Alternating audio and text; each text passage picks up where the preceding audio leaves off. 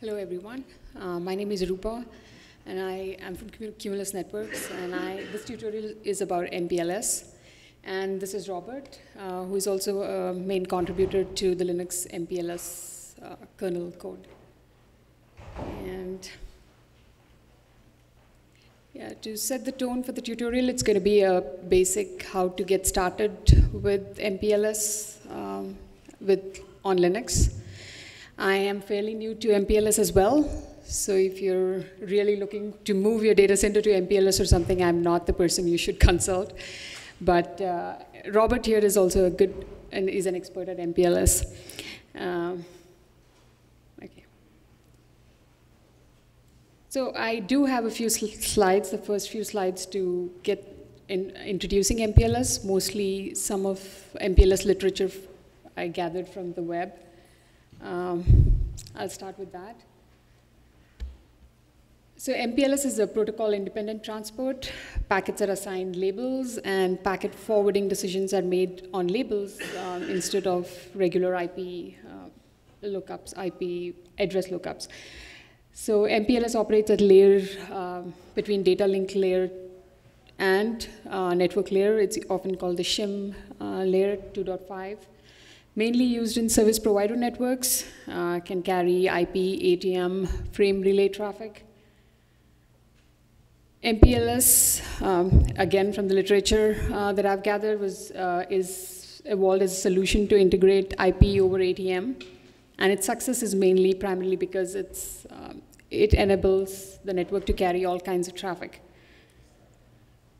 Um, again, the same thing. Uh, it's, it enables your network to have a unified network infrastructure, mainly for service providers to carry all kinds of uh, customer traffic.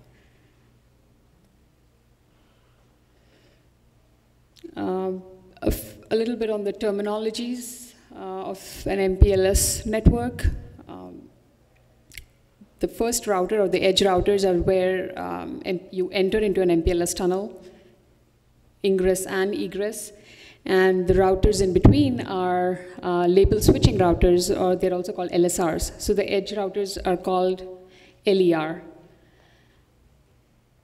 So the first router usually attaches labels, forwards uh, labels, uh, forwards packets based on label, and the future routers, they basically switch only on the label. Final destination router removes the label and forwards traffic uh, using regular routing.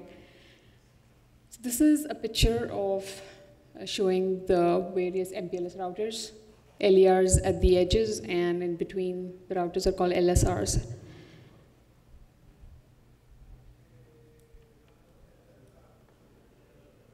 This is an example. If you attended the previous VRF talk, um, I'm sure David had something similar. Um, this, this kind of shows the provider backbone um, MPLS in the provider backbone network. Uh, P1 and P2 are the provider edge devices. Again, they are LERs, the edge routers, enter and exit into the MPLS tunnel or MPLS network.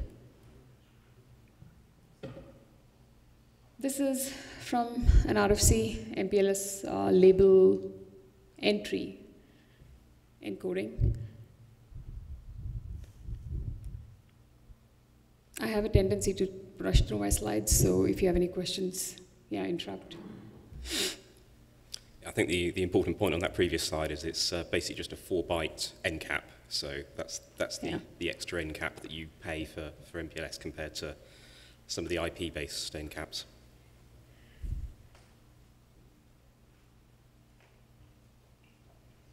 Okay, now we'll um, go into the Linux commands to configure MPLS routes. So this is, the first thing is on the label switching router, that is LSPs, which take in an MPLS packet and uh, uh, swap or pop labels and forward MPLS. So in the kernel, you would, these are the config options to enable MPLS routing, config MPLS and config MPLS routing. The code, the driver code, the first version was written by Eric Biederman. Um, and that is in netmpls, afmpls.c. So it uses the existing uh, IP routing netlink attributes. If you are aware of that, it, they're usually RTA, they start with RTA star. And the new attributes added to that are RTA new dest to indicate a label, uh, to carry a label, and RTA via to carry a dest, an IPv4 or an IPv6 dest. Robert, you can interrupt or add anything to what I said. Yeah, so the, the, the, RTA via attribute is analogous to the RTA gateway um, attribute, except it, it allows uh, different um, address families.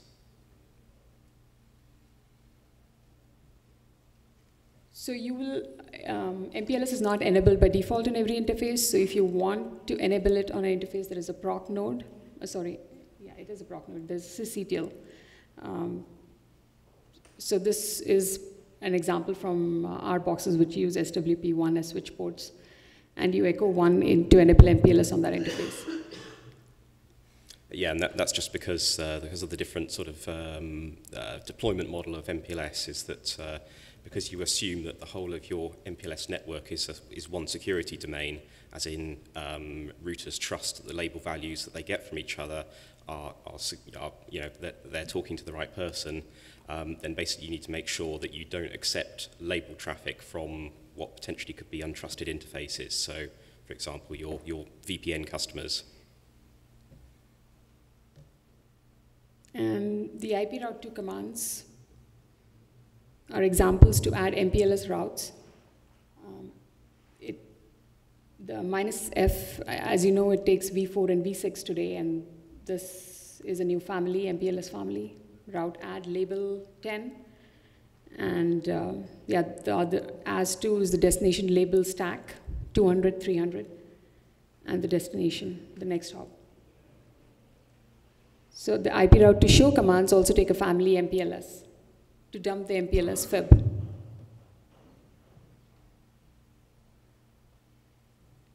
There is also multipath support for MPLS routes, um, which was recently added in 4.5 uh, kernel. And this follows the same syntax as you would add the IPv4 and IPv6 routes.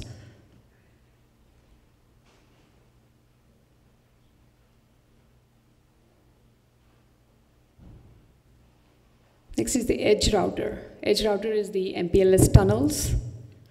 Um, the end routers. So this uses uh, lightweight tunnel infrastructure.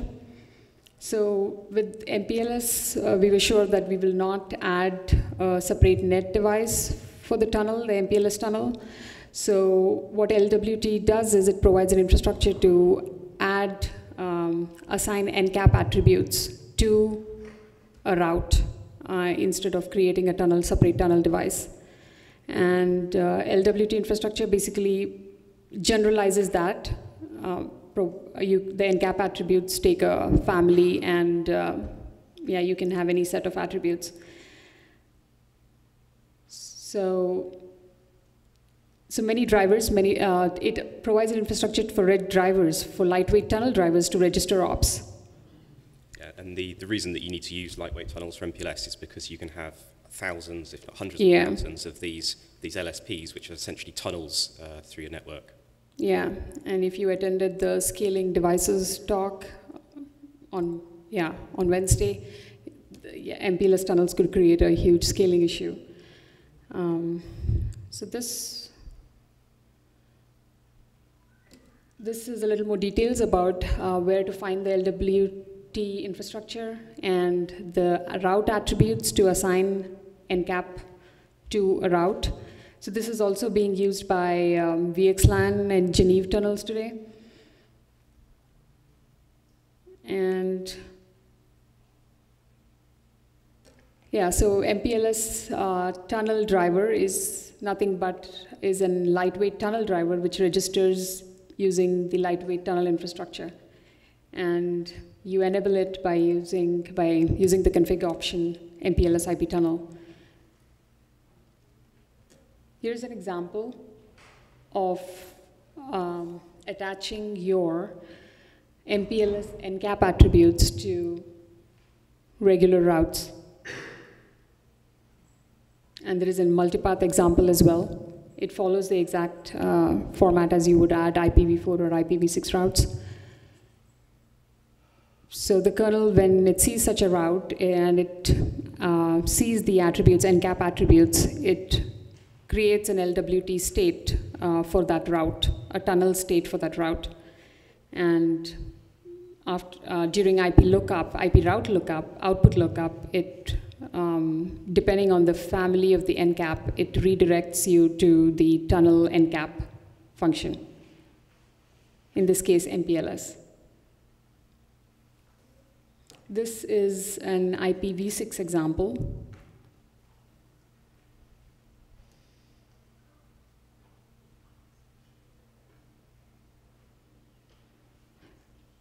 So there are multiple things going on. Um, there is MPLS stats, which Robert's uh, patches are outstanding. Um, and we will, we are looking at MPLS L3 VPN. Uh, you must have um, seen David's talk on VRF, and I think he had a use case for L3, MPLS and VRF as well in his demo. And like everything else, we will be at some point offloading this to um, hardware on our boxes, and uh, there will be some switch dev effort around it. Any questions?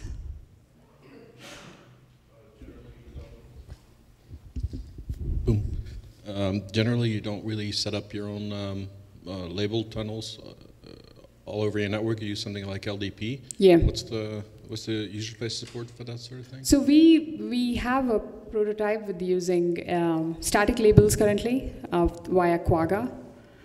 But I think you can use BGP as well to distribute labels, and we are looking at it. I'm not sure if the upstream Quagga has any um, yeah, support for that yet.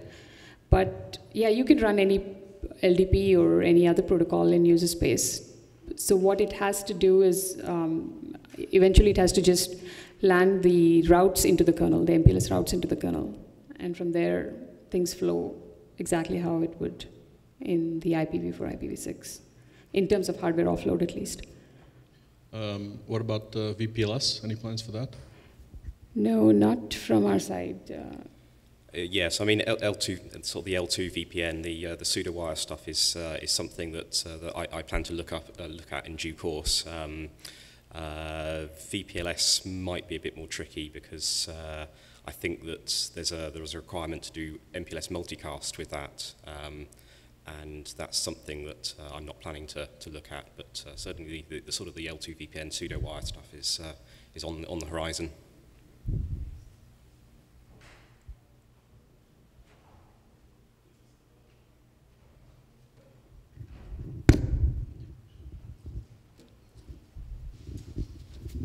Could you elaborate on the hardware offload that you're looking for for MPLS? Is it just a encap decap offload, or there's more to it?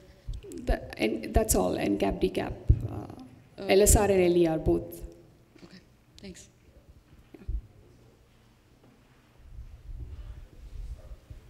So, what is the state of integrating MPLS with host functionality such as checksum offload, segmentation offload, and things like that? I have not thought about it. I've not looked at it actually. Okay. Most of it actually sh should be pretty straightforward. Yeah, it should be straightforward. And then I believe it's RFC 7510 is UDP or MPLS over UDP. Given the lightweight tunnel infrastructure, that actually should be pretty trivial too. Yeah, yeah. Um, the nice part about that is it's actually the only UDP encapsulation so far that's an internet standard. So if we get that in, that would actually be kind of cool. Okay. okay. We will consult you, Tom. so how does MPLS integrate with IP, IP route 2 as well as IP table, IP table 2? Uh, not IP tables, only IP route 2. Sorry, NF tables. Sorry. IP tables and NF tables. NF tables? Yeah, so there's no there's no current support at the moment yeah. for running um, net filter hooks um, on, on yeah, basically egress when you're popping the label off and you're going out as IP, that again, that's something that uh, that needs to be done and, um, and, and, and should be done. Yeah. In terms of IP, uh, IP route 2 support is fully supported, right? I can use the same IP route 2 command to conf- configure MPLS. Yes. And I, IP rule has some support, I think, for MPLS, but I'm labels. I'm not sure though, but not in our new driver. Thanks.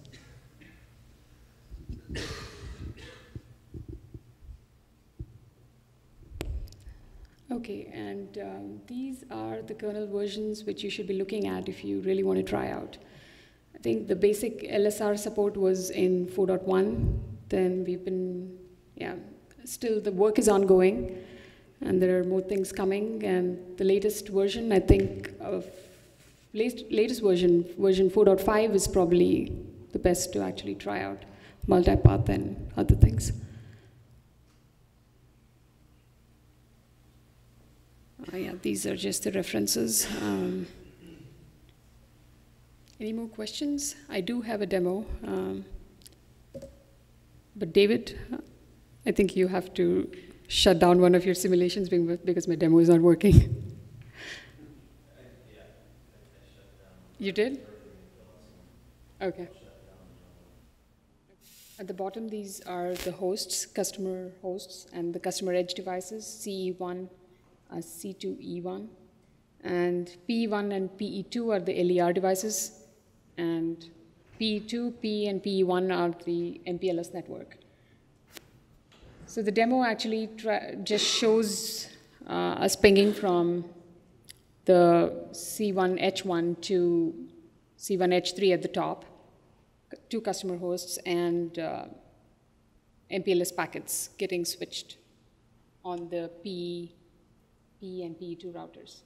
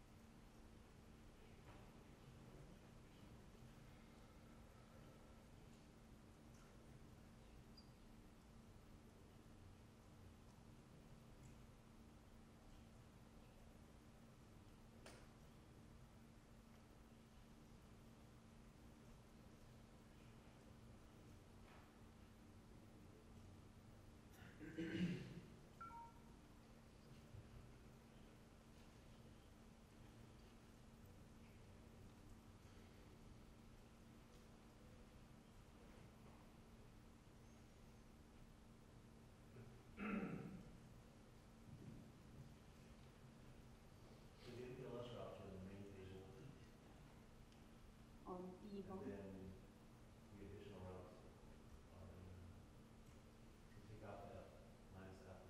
Oh, yeah, the LER routes.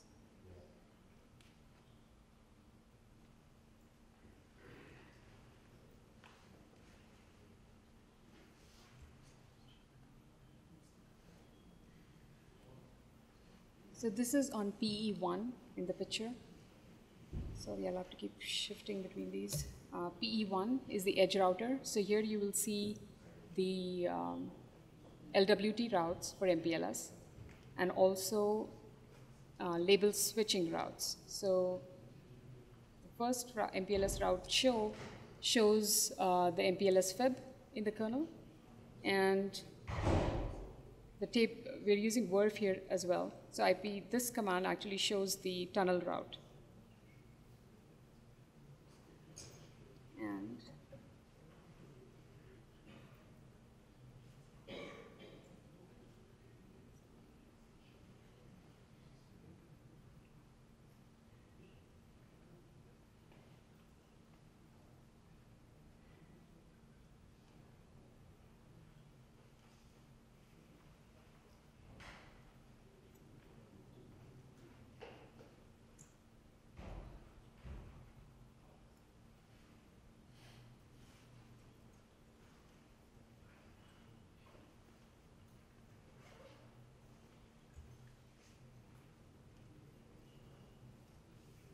you can see.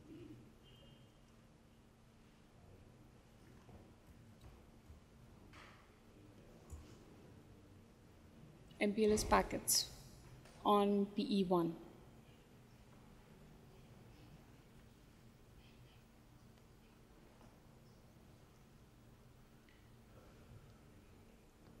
That's about it.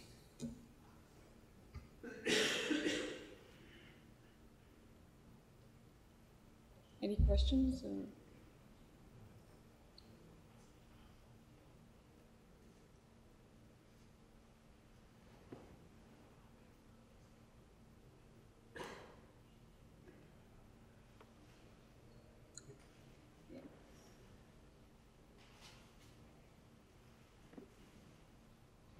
We did finish very early, I think. All right, thank you, everyone. Thank you.